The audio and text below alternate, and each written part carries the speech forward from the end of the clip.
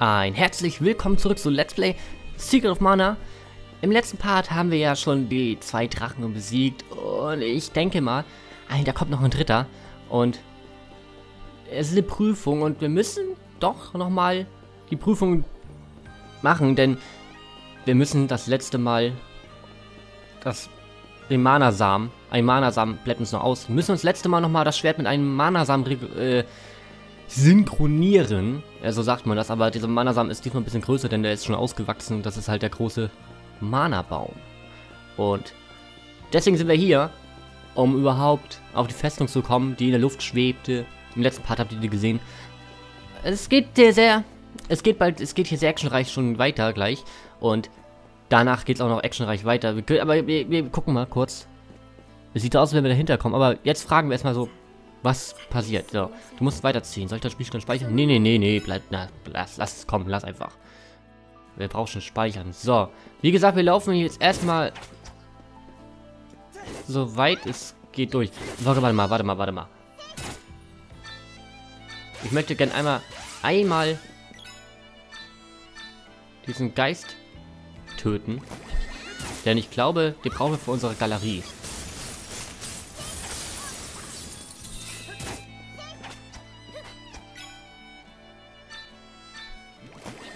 Bin mir nur gerade nicht sicher, ob wir ihn getötet haben. Ich glaube nicht, ne? Ja, jetzt haben wir ihn getötet. Stufe 55 erreichen. Avi und ich. Ist das nicht toll? Ist das nicht super? Ich finde das sehr nice. Ashrak hat ja genug Level erreicht, ne?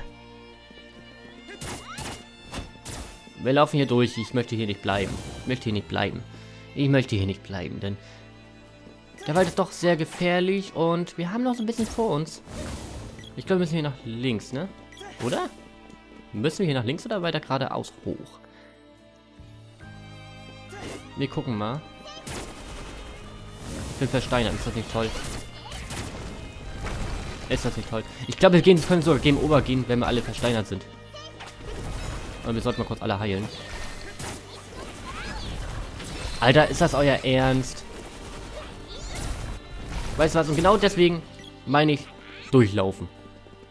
Genau deswegen sagte ich das. Das ist genau der Grund. Weil hier einfach einfach Game Over geht. Einfach so richtig sinnbefreit, wisst ihr? Beim Original war es wenigstens so, dass wir uns noch alle heilen konnten in der Zeit, wo einer stirbt. Aber hier ist das nicht mehr so der Fall. Deswegen Analysieren wir den Gegner einmal. Ich glaube, wir müssen Feuer auf ihn knallen, aber erstmal einmal kurz eine Analyse durchführen.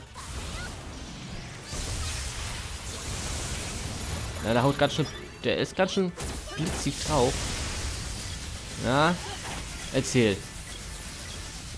Erde, okay, das wird doch eine Schlammbombe. Gut, dann ähm, nehmen wir mal Rocky, also den Gnom. Nehmen mal die Schlammbombe auf die Dings und ballern uns mal die Donnergigas mit Erde voll. Mit Schlamm. Wir beschmutzen ihn. Er kann froh sein, dass, dass Leute sich um ihn kümmern. Dass Leute, ich möchte, dass Leute schmutzige Gedanken mit ihm haben. Dann kann man, kann er sich doch mal freuen. Eigentlich soweit, ne? Oh, das ist doch nicht wahr. Ähm, hat sie nicht einen Zauber, womit sie die Leute wieder beleben kann? guck mal ganz kurz. Nee.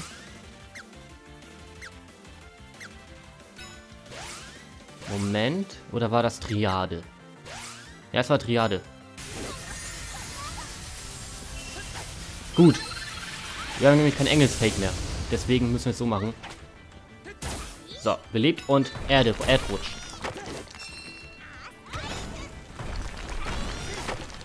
Gut, dass wir diesen Zauber haben, ne? Und er ist besiegt, der Donnergigas. Leg dich hin, alter Sack. Du hast dir die Ruhe verdient. Ja, du hast dir die Ruhe wirklich verdient. Ich meine, wie oft haben wir dich schon kalt gemacht, in einer anderen Form. Naja. Naja. Gut. Erreichen wir Level ab? Oder beziehungsweise was, was für ein Orb kriegen wir? Wir kriegen... Na? Ein Schwert, habe ich mir schon gedacht. Habe ich mir schon gedacht. So, jetzt haben wir hier den, die, den, den, den, den Donnergigas besiegen. Jetzt müsste gleich noch ein, ein weiterer Drache kommen. Beziehungsweise erstmal so ein Schrein, ne? Der uns sagt, ey, da ist ein Drache, mach ihn kalt. Lol. Töte ihn. Okay? Ja. Genauso wird es sein, denke ich mir zumindest. Ja, tatsächlich. So, was sagt der denn? Was sagt der Schrein? Du musst den Drachenwald auf linken Seite besiegen, damit du weiterziehen kannst. No, ich will mein Spielstand nicht speichern. speichern, das du deppen. Ne? Also, jeder Ähm.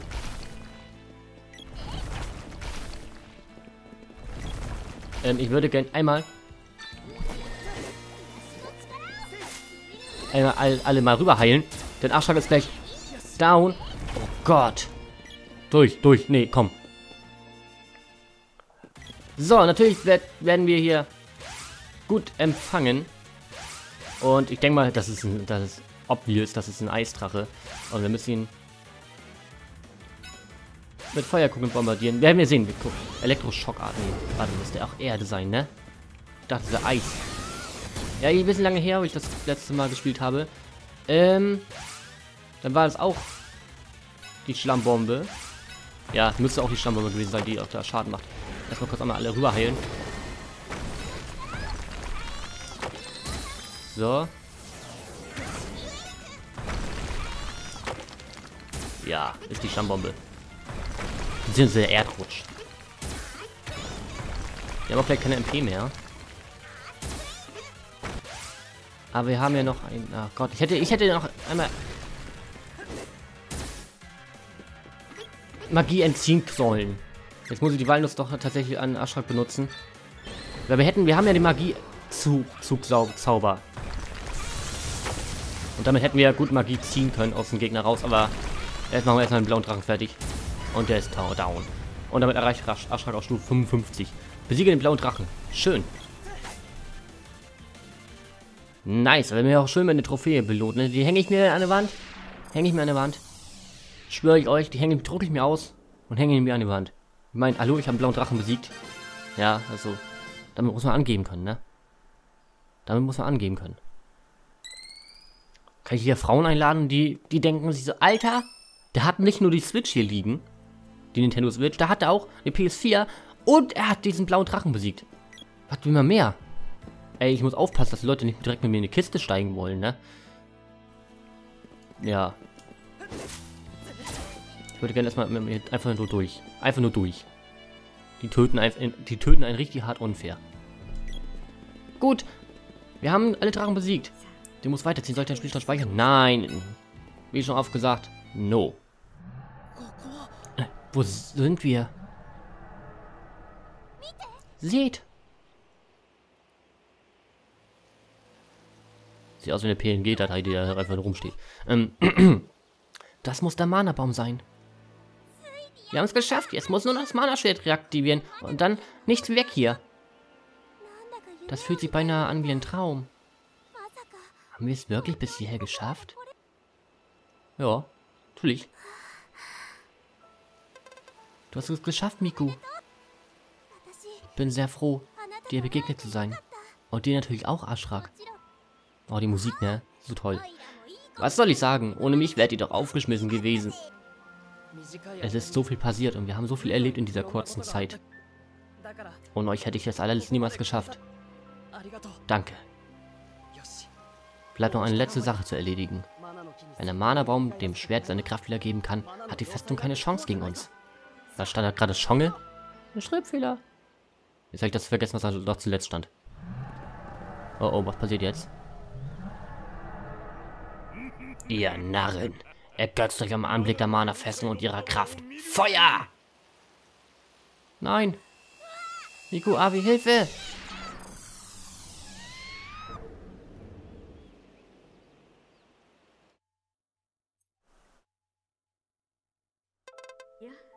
Ja.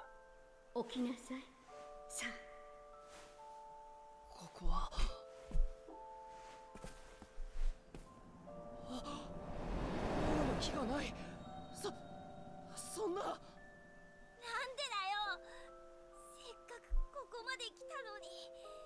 くそタナトスのやつ。ひどすぎるよ。世界はディラックはどうなってしまうの？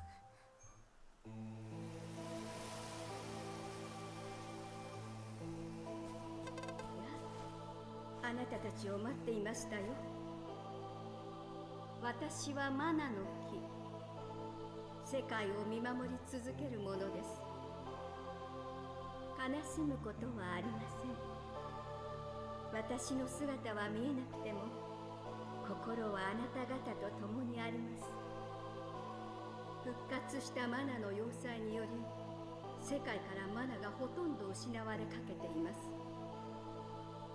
間もなく世界中の神獣たちが集まり一匹の巨大な神獣へと変化するでしょう。神獣は失われたマナの回復をすることができる唯一の生物です。でもマナがあまりに急速に失われるとその反動で狂ったように暴れ始めてしまうのです。要塞と神獣がぶつかれば世界は最後の時を迎えてしまいます。回避する方法はただ一つ。聖剣。マナの剣によって神獣を倒してしまうしかありません。そしてその剣はマナの種族と呼ばれる精霊の血を引く一族によって受け継がれているのです。そう共和国の騎士であったあなたの父セリンが抜くべきはずだったのですが15年前の戦争で魔界の力を得た皇帝と差し違え蘇った皇帝を倒すために最後の力を振り絞り政権を抜きにあのポトス村の森まで来たところで力尽きたのです。え？じゃああの滝のところで見たお化けは父さんだったの？あなたの父セリンは共和国の騎士でした。そして私はその妻。あなたの母だったのです。私たちはマナの種族。マナの種族の女は子孫を残すとこうしてマナの木となり世界を見守り続ける定め。マナの種族の男はあなたの父のようにマナの剣を取り平和と秩序を守らねばなりません。さあ要塞に向かいなさい。要塞の動力がマナならマナが少なくなった今シールドも消えたはずです。私の最後の力を使って封印が解かれてしまった全てのマナ種子と聖剣を共鳴させてあげましょう。ごめんね。母さんお前に母親らしいこと何もしてやれなかった。母さん本当に母さんなの？マナの木がなくなっても平気なの？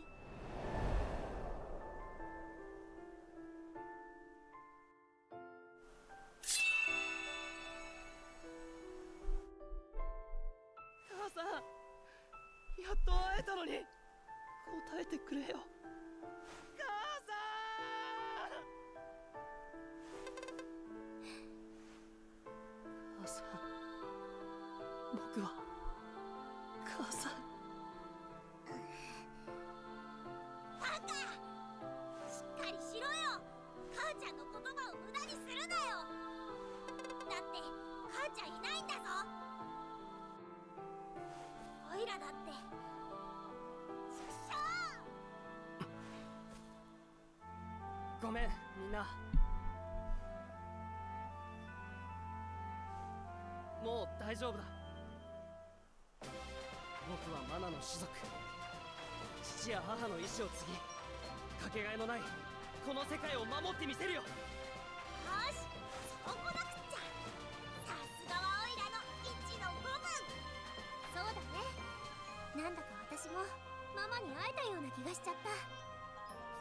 心の中にいるんだよ。元気出せよ。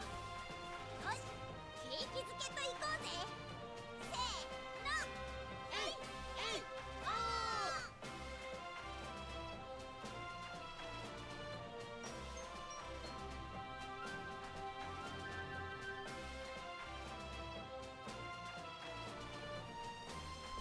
Da war die Mutter ein ba ist die Mutter ein Baum gewesen.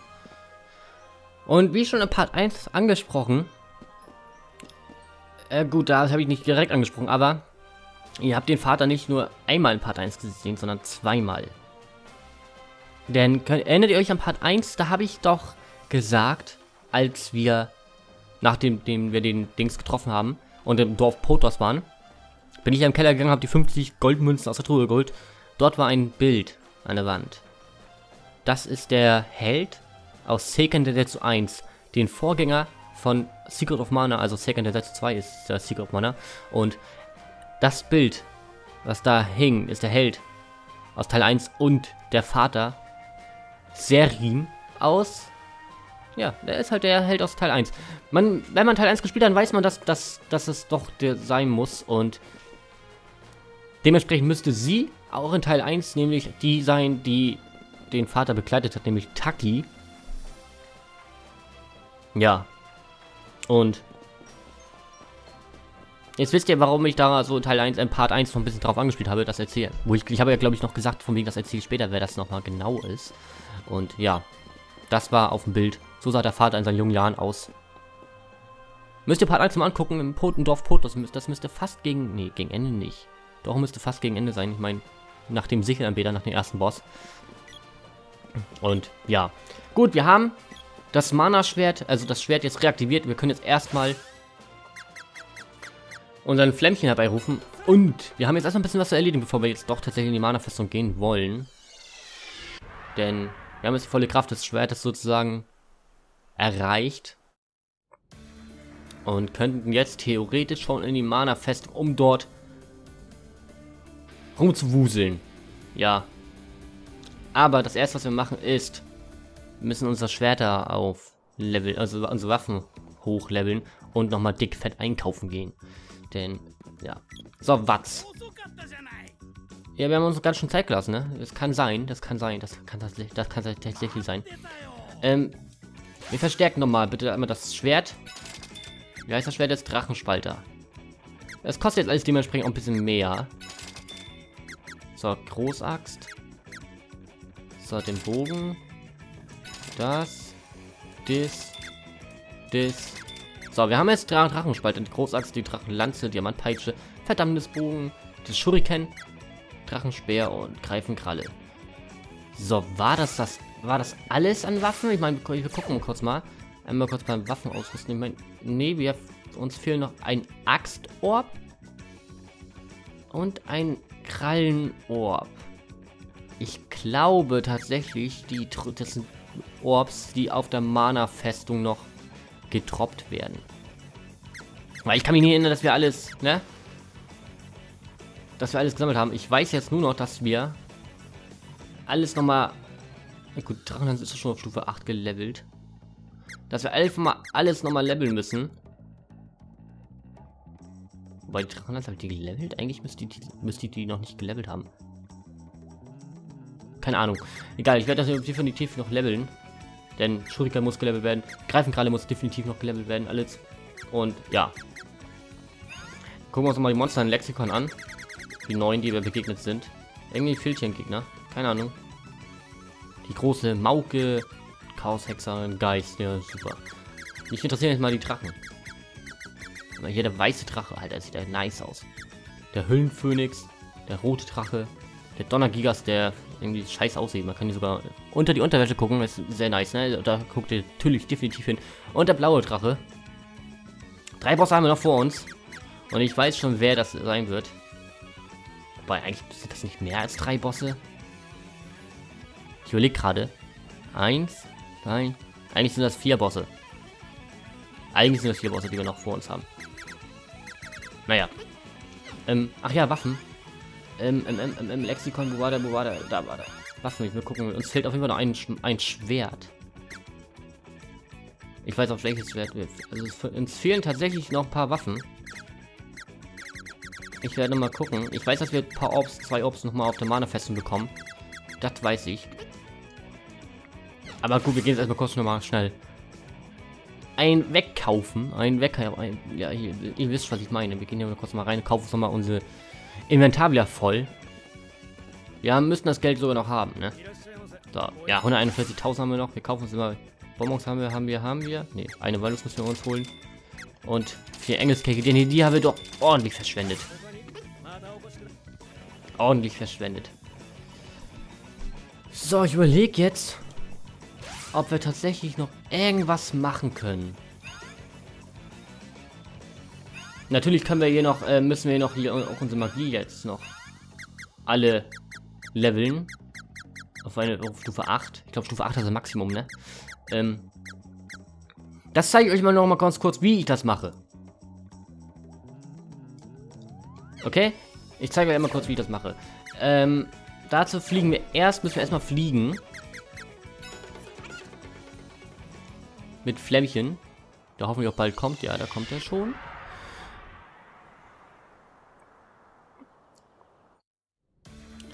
So.